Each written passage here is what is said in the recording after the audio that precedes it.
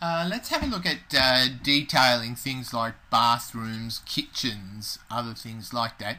The process is, uh, is similar. It's basically using Archicad's library parts to populate the room with the sorts of elements that uh, you want to uh, place there. So for example, um, in a kitchen, let's have a look at a kitchen.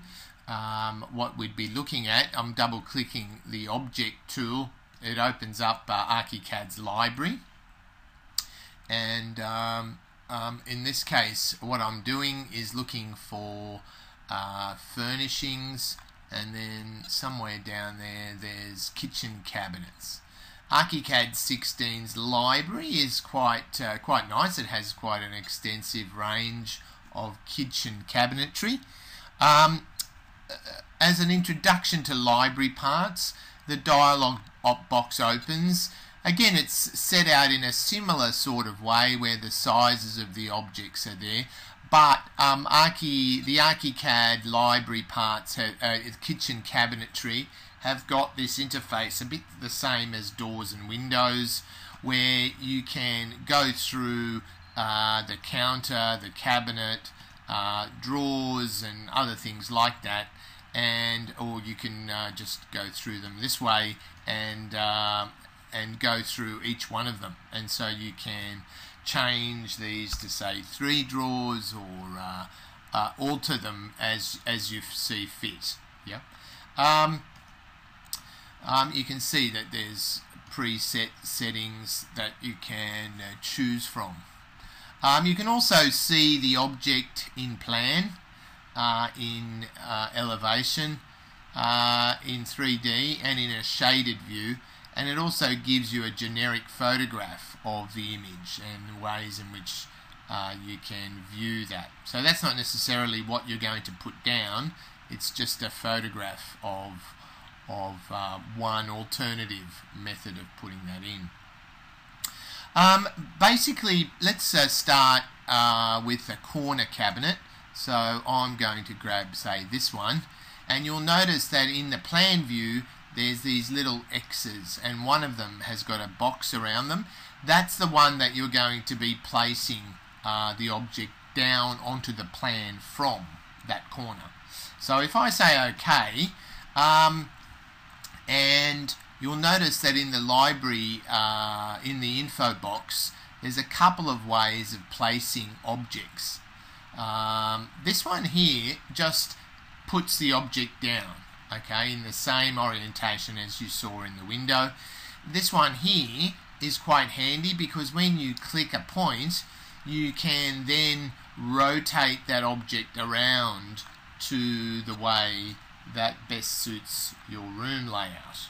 Okay, so in my case, I want to put it in this corner.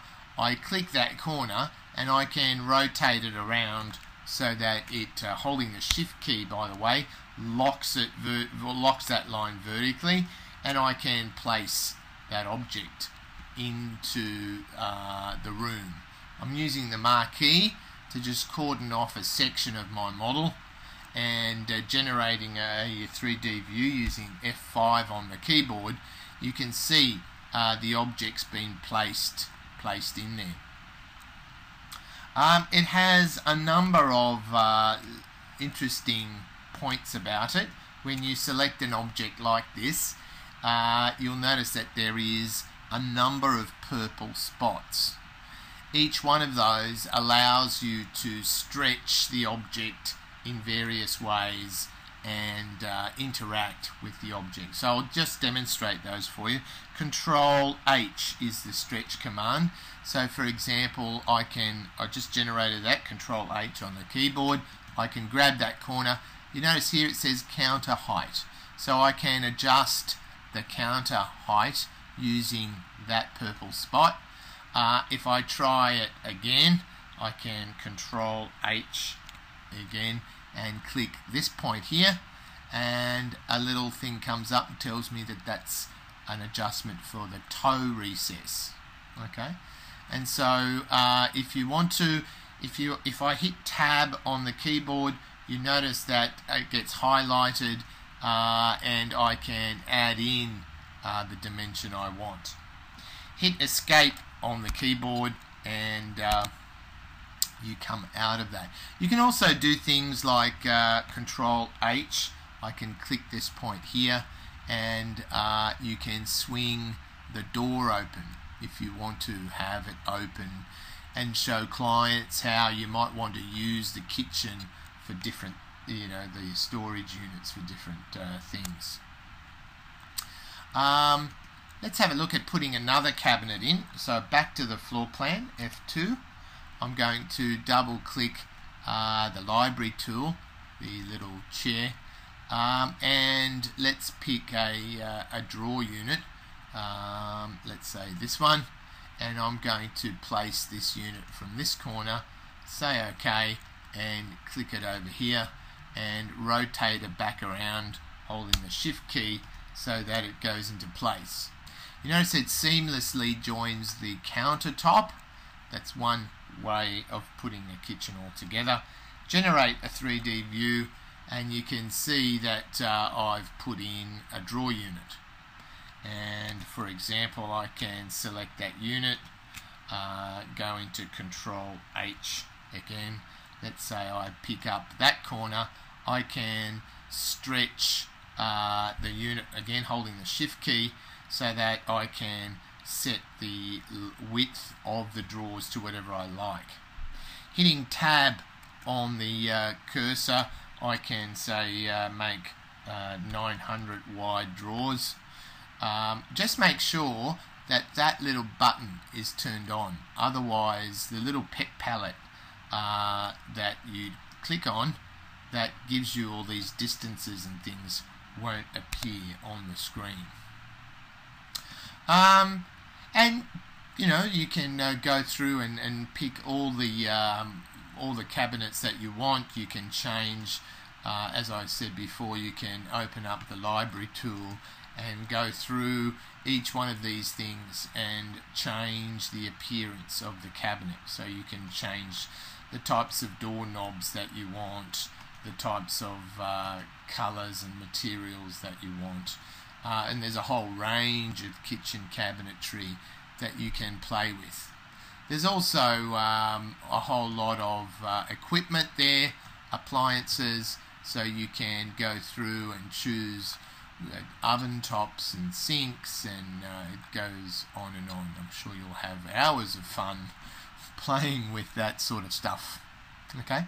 Um, now, if I wanted to generate a drawing of all of that, I think uh, the best, I'll hit escape just to get out of that, back to the floor plan, F2. Uh, the best, one of the best ways of doing that is to use the internal elevation command. Uh, what it does, the way it works, is you notice that uh, you also have a layer to put it in. So if you don't want it visible on the main floor plan, you can switch it off and only have uh, the marker visible um, on a, a bathroom or laundry detail or kitchen detail. So um, I am going to change the scale of this thing. So down here, uh, I'm going to set that to say 1 to 20 and say OK, and suddenly the scale increases. Notice, by the way, ArchiCAD adds detail once the scale increases. So now I can see architraves where I couldn't before. I can see uh, walls rendered where I couldn't before. Okay. Now, internal elevations, the way they work is uh, you can use them a number of ways, but I guess the simplest way is you firstly draw, uh, if I, sorry, select my uh, internal elevation tool, I'm going to draw a rectangle that represents the face of the walls that I want to draw and then drag that back to where I want to view the elevation from. So it's going to see all the way back to the wall but it's going to cut the elevation at this point here. So it gen generates a little symbol. The, these uh, little uh, drawing IDs change once I end up putting these drawings onto a layout, uh, but I'll show you that in a moment. Um, you'll notice that in your uh, navigator palette in internal elevations now I get uh, new drawings and I can uh, double click any of those and it will bring up uh, information about the cabinetry that I've just created. So, uh, and at that point, I can then, um, oh, well, I can change the settings so you can uh, um, edit the uh, interior elevation settings. So if you don't want color or other things like that, you can go into modeling and change that back so that I don't get color. But I can add notes now and dimensions, just like I showed you in dimensioning uh, for the drawings. I can add those sorts of dimensions in. Um, I can add labels, um, and I'll talk about labeling a little bit later. But you can add notes and dimensions and then save that as a drawing um, to put onto your layouts. That would apply exactly the same for a bathroom. I could put showers, basins, toilets, and uh, do exactly the same sort of thing to populate a bathroom layout with all the equipment and uh, fixtures that I want.